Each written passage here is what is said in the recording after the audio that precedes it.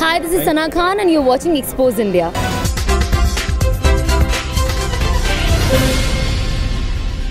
उत्तर प्रदेश में एटा जिला प्रभारी अतुल गर्ग ने पार्टी पदाधिकारियों और कार्यकर्ताओं के साथ एक समीक्षा बैठक की जिसमें तमाम अहम मुद्दों पर चर्चा की गई। अतुल गर्ग ने खाद्य आपूर्ति को लेकर कड़े निर्देश जारी किए। वहीं बैठक के बाद वो मीडिया से भी रूबरू हुए। उन्होंने तीन तलाक के मुद्दे पर कहा कि तीन तलाक से मुस्लिम महिलाओं में खुशी बनी हुई है। मुस्लिम महिलाएँ ही नहीं पूरे देश की महिलाएँ कोर्ट के इस फैसले से खुश नज़र आ रही हैं।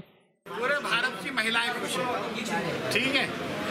बल, बल्कि जो तीन तलाक से पीड़ित नहीं थी वो भी खुश है। लेकिन विपक्षी आरोप लगा रहा है कि आप तीन तलाक के मुद्दे का पॉलिटिसाइजेशन कर रहे हैं उसका लाभ ले रहे हैं। अब अगर कुछ महिलाओं ने ये अपने बयान में कह दिया कि ये मोदी जी के कारण हुआ है तो हमने उन महिलाओं से कुछ नहीं कहा।